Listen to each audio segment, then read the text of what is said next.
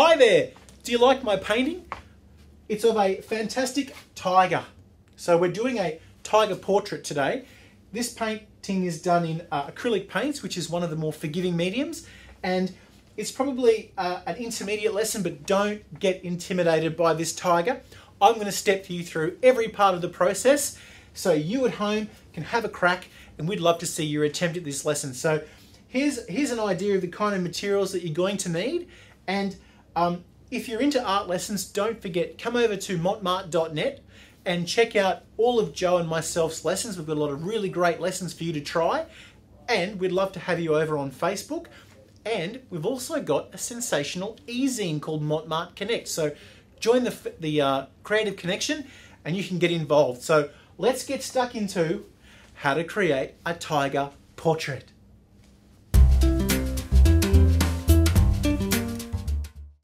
Grid method is a simple and easy way for you to blow up your artwork. It's as simple as drawing a grid on your artwork and then drawing a much larger grid on the canvas you'd like to draw your artwork onto and then transferring what you see.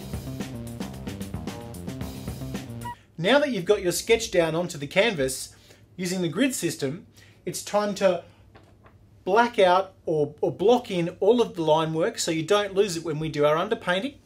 Here I've got some Payne's Grey and I've also got a Taklon brush and two round brushes and that'll help me to block in all my blacks. So let's get stuck into it.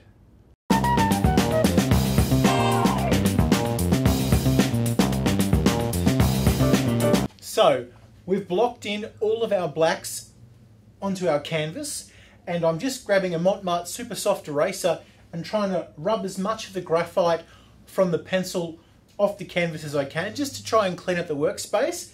Now that I've done that, the next step is going to be blocking in some colour.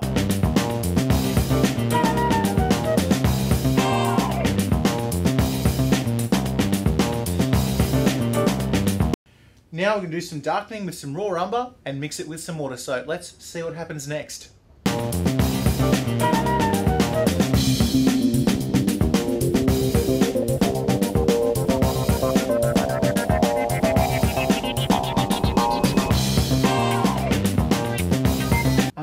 Do now is I'm going to go in with some white around his eyes to bring out some of those lovely markings that tigers have.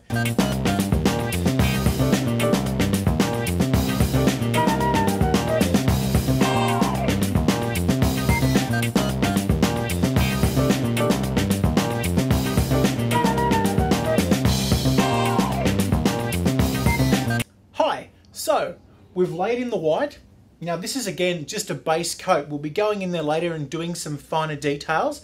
But now what I want to do is do some glazing on his eyes. Now we've got a lot of warm colours going on and what I want to do is bring through a cool colour to create some interest and some contrast.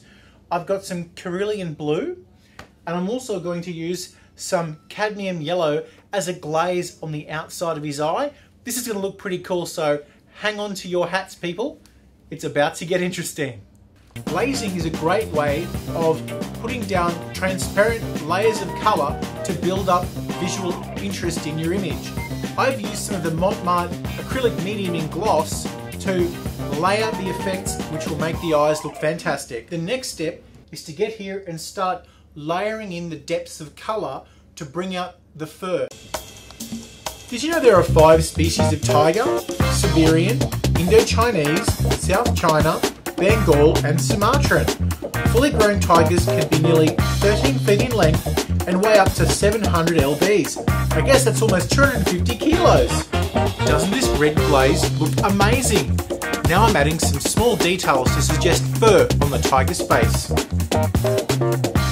So there you go, we've added lots of details into the uh, nose area and the brow of our tiger. I think it's looking pretty good, but we're not finished yet. We're almost there. It's time to go back in with some lamp black, back into our blacks, and what we're going to do is flick them back out over the white to give you the impression that the uh, fur is flooding out of his face. And we're just going to do a little bit more work on highlighting some of these areas just to create a better, smoother transition. So I hope you're enjoying this. This tiger is almost done. Let's get into getting it finished. We're almost done. The most important thing now is to flick your brush back up across the top of the white sections so the black fur is exploding out from each section. And don't forget, you can cut back in with your brush to make the fur look really bristly. This is going to look sensational. Well, there you go. Here's the tiger at its most completed state. You can see I've done the flocking of moving black up through the um, white areas to create that lovely fur effect.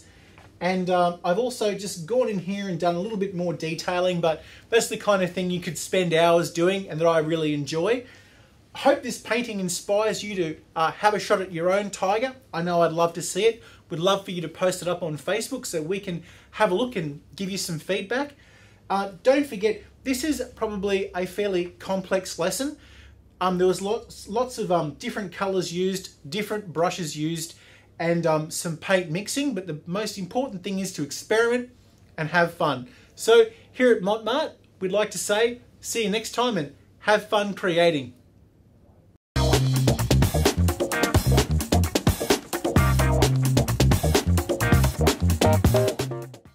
See you next time!